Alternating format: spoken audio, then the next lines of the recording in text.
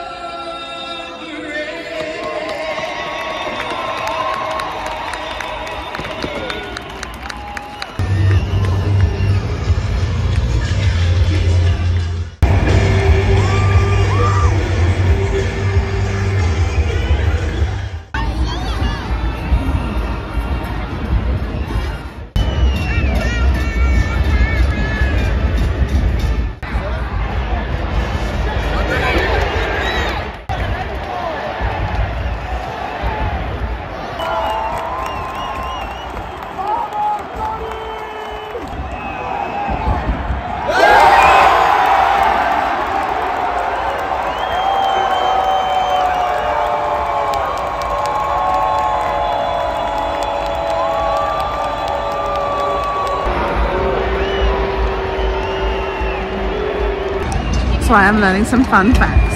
Just to let you know, by the way, that uh, Chicago Fire is at Soldier Field, which is where Chicago Bears are. We came here on Christmas Eve and it was cold. I probably should have learned my lesson. I just came in a hoodie and freezing. Um, sorry, you probably can't hear me. Football or soccer? Oh my, I'll try, I'll try in a minute. As I was saying. Um, we got these seats for like $9 because it's the home opener, but you can get cheaper tickets on their website sometimes when they have offers, but also where I work, they have like a partnership um, with Chicago Fire, so they like send out free tickets or cheap tickets and stuff throughout the season. So we shall try and get to some more of these games and hopefully they will be a bit warmer. But we are up like just behind the goal and it's not too bad, but it's really quiet. Like okay there was only like 10 minutes left so it was a little bit busier than like earlier but it wasn't that much busier so it is quiet. Um but yeah wrap up warm if you are coming because there is a cold breeze. Oh hang on. As I was saying sorry it got exciting and then it didn't. Um but if you are expecting like English English um like like like football standards of England it's not.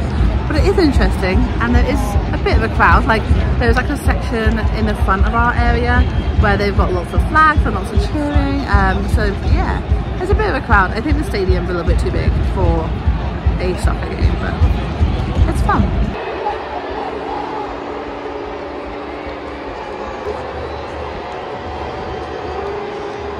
So we have gone into extra time. Uh, there is like four minutes left of the game and we are 2-1 down.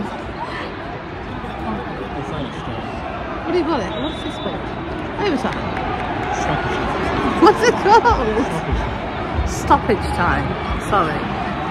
Stoppage time. We are in stoppage time. I've watched too much American sports, obviously. But there's like 50 seconds left. And we're 2-1 down.